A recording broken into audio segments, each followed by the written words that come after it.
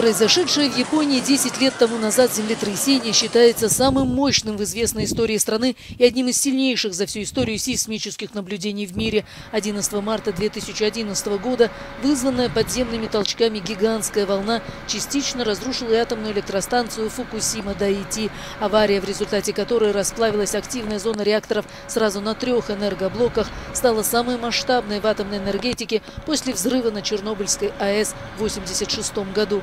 Правительство Японии и компания-оператор ТЭПКО руководят выводом АЭС из эксплуатации, включая дезактивацию. Все шесть реакторов восстановлены. Под контролем находятся три из них – четвертый, пятый и шестой. На первом этапе для остановки реакторов и предотвращения новых радиоактивных выбросов установки обливались водой, в результате чего собралось большое количество зараженной жидкости. С 2013 года началась очистка бассейнов реакторов от топлива. Эта операция рассчитана на 10 лет.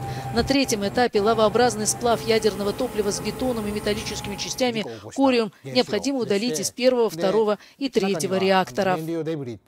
В этом поврежденном реакторе содержится расплавленное топливо, и его необходимо постоянно охлаждать, поэтому мы заливаем его водой. Вытекающая загрязненная вода поглощается насосом, направляется в эту установку АЛПС, и радиация практически удаляется, за исключением трития, который останется в резервуарах.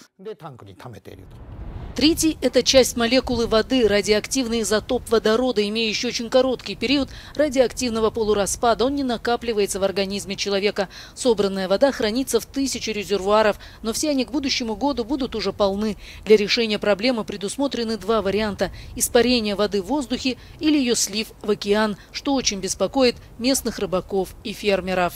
Но Кристоф Ксери, директор отдела ядерного топливного цикла и технологии обращения с отходами МАГАТЭ, говорит, все ядерные реакторы имеют право на выброс небольшого количества радиоактивности в воду и в воздух, но все это подлежит регулирующему контролю. Вывод АЭС из эксплуатации должен быть завершен через 30-40 лет. Эксперты считают, что авария на Фукусиме имеет мало общего с Чернобыльской. Так, например, в Чернобыле произошел выброс огромного количества плутония и америция, поэтому Чернобыль заражен навсегда. Фукусима – это совсем другая история. Здесь произошел в основном выброс радиоактивного цезия, а период полураспада цезия-137 составляет 30 лет. На территории, прилегающей к АЭС, идут также работы по восстановлению и обеззараживанию земель для возвращения местных жителей. С 2011 года из пострадавших районов уехали 88 тысяч человек. Вернулись пока лишь 14 тысяч.